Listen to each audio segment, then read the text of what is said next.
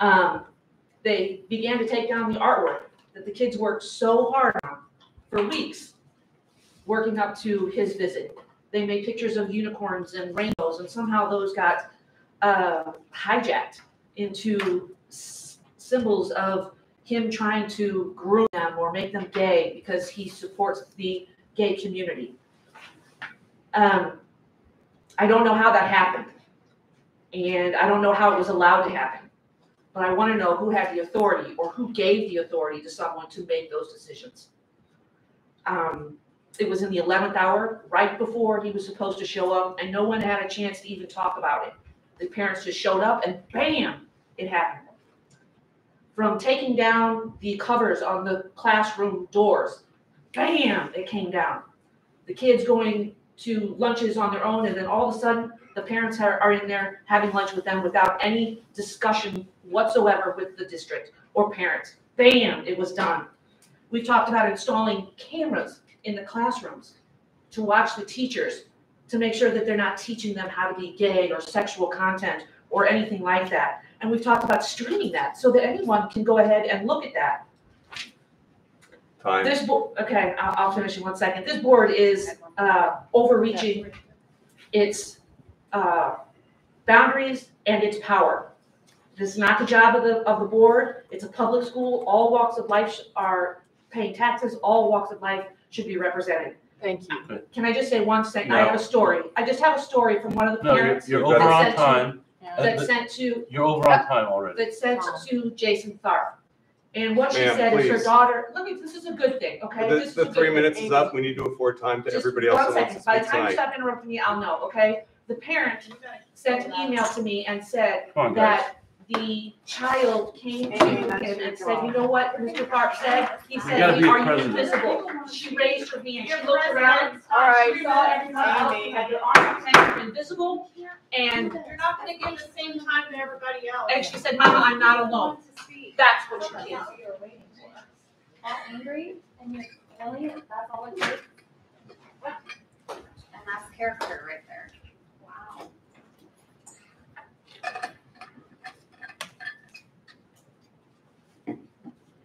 Thank you, Ms. Atkins. Will we, will you be able to respond to her next week?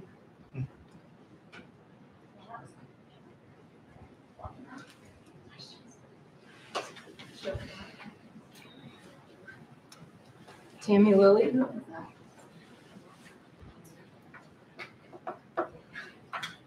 Is Tammy here? Again,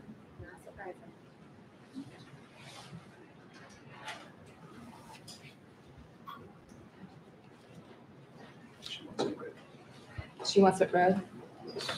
Oh, okay. Would you start timing? Go ahead. All right. It makes sense to start with some perhaps forgotten basics. Third person personal pronouns are those set of words for which we refer to a person via that person's sex. You know how Facebook allows us to tag somebody in a photo? It's the same thing. Pronouns are how we tag somebody in a conversation. If we use he, him, his for male, she, her, hers for female, and they, them, theirs to refer to more than one person, it's a simple, well-established, and entirely uncontroversial system because sex is the only viable candidate for what we attach personal pronouns to. It represents the whole of a person's body, it cannot change, and it exists independent of our mind. In other words, it's the only anchor by which we can secure the relationship between language and people.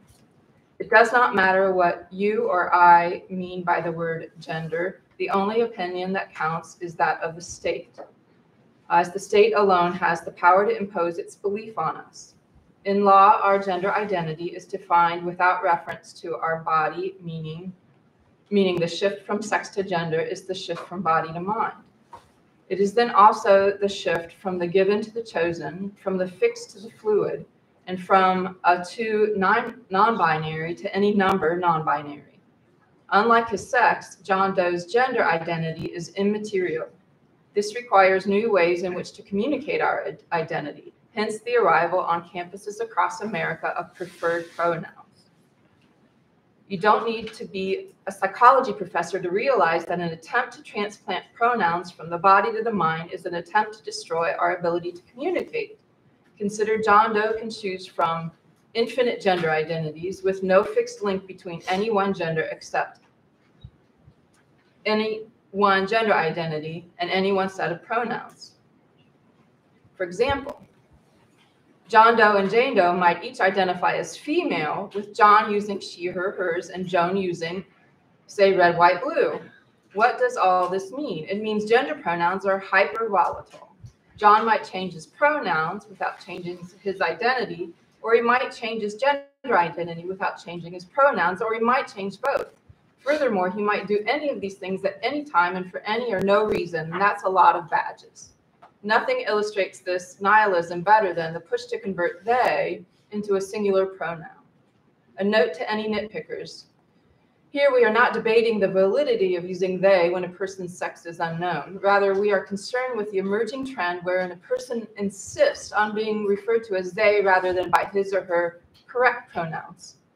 Besides being a spectacularly unimaginative choice for an alternative singular pronoun, they also represents another attack on difference.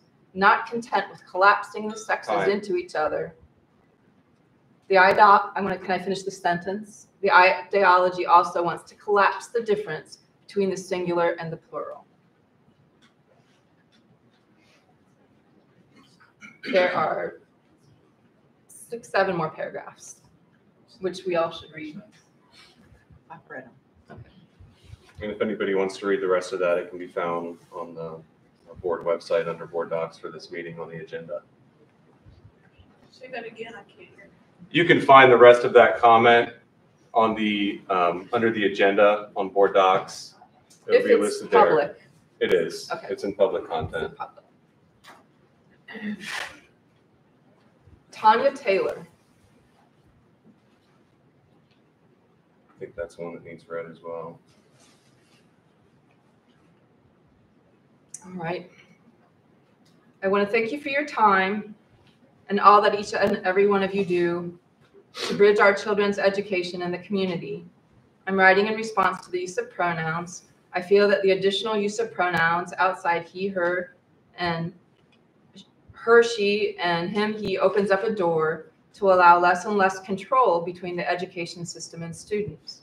Sex, female, male, comes down to a body's makeup, ingrained in our bones, an ability to identify us after death. Artifacts have proven this.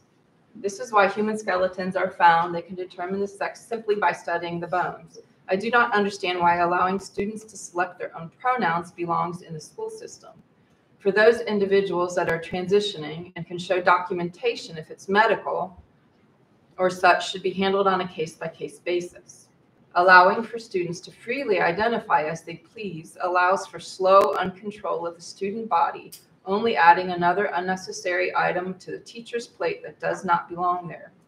My nephew is transitioning from female to male, is able to show medical documentation, and his case is handled on an individual basis.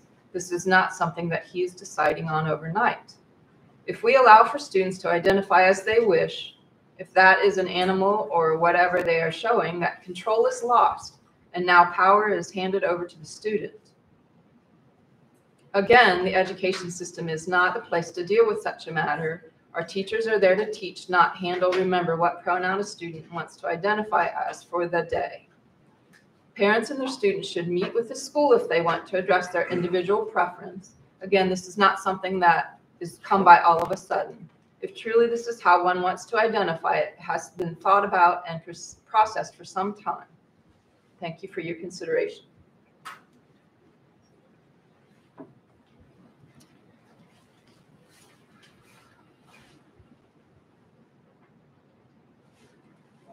Thank you. Kaylin Brazelton.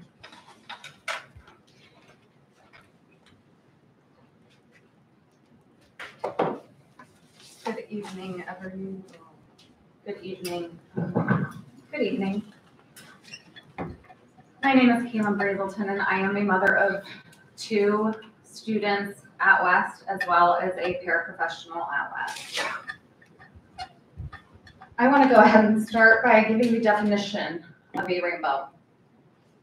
A rainbow is an arc of colors formed in the sky in circum, certain circumstances caused by the refraction, refraction and dispersion of the sun's light by rain or other water droplets in the atmosphere. So why couldn't we read a book with a rainbow on it? Because there is no other hidden meaning in that book.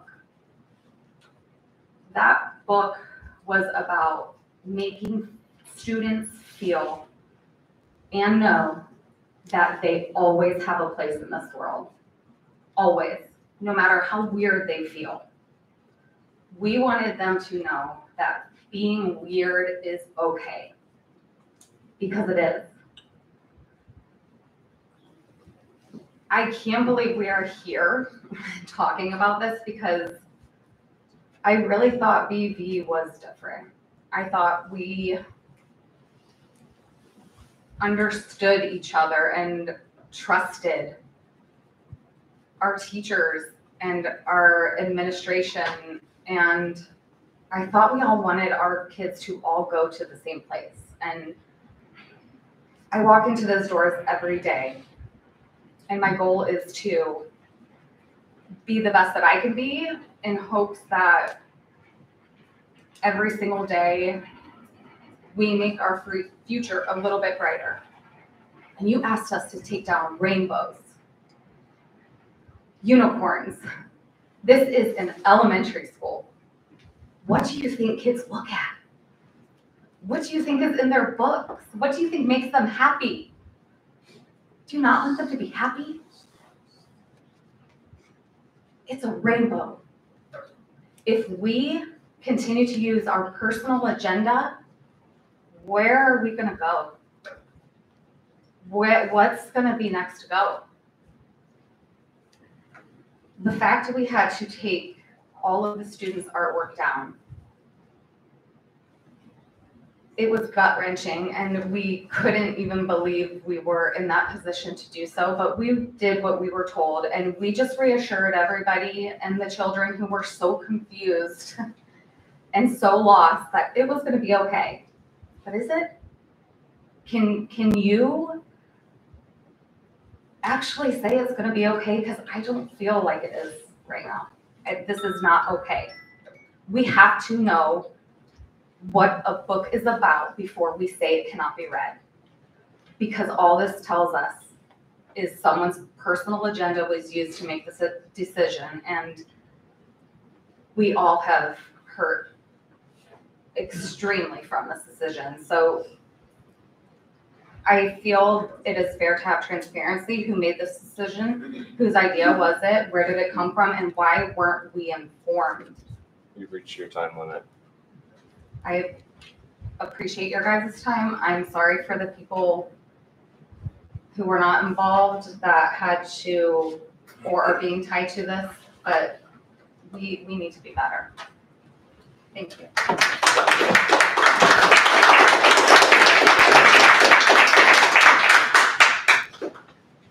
Thank you.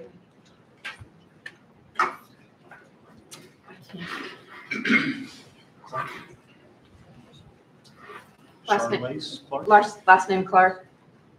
I can't read the first name. I'm sorry. Passing. Um, Bridget Robinson.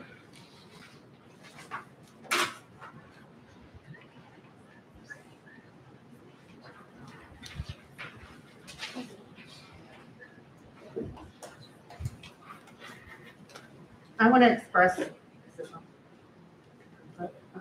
I want to express my concern that the vice president of this board, Mr. Dickey, was speaking online on Facebook on behalf of this board when there was a concern by a parent stating that he would talk to the superintendent of this school district. This is an abuse of power. It's inappropriate and it's an ethical violation. Now, I wasn't at the legal training, my husband was, but I've seen the notes. This is wrong. You're not supposed to speak as a single member. You're supposed to speak as a board. This is not how decisions are supposed to be made. It's wrong. We all know it's wrong. The community knows it's wrong. The kids knew it was wrong.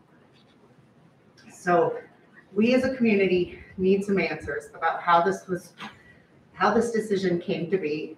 Who decided our little tiny children couldn't hear about rainbows and unicorns? And I think we have an upcoming board meeting, and I think we can expect a better explanation and some ethical consequences. Thank you.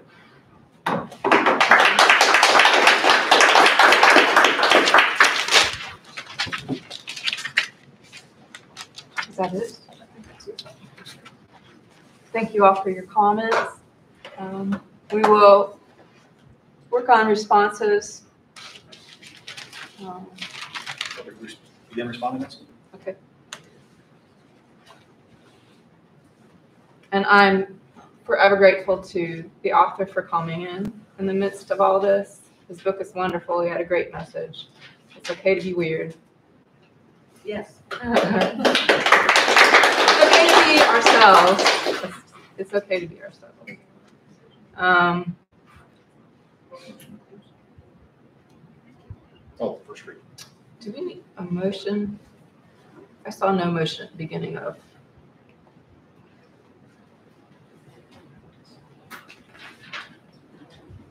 There's nothing to vote on, so there's no motion. So we just have a first reading of our anti-discrimination policy. And it, our, it'll go through a second reading before it's adopted, so this is one of our, one of two opportunities to ask you questions. April- You're not allowed to discuss. We're not allowed to discuss, Discuss. It's just a first reading. just a first reading. So I have a couple questions I'll send to you then. Uh, we can discuss the reading. Okay, okay. Because that'll be regular board. Okay.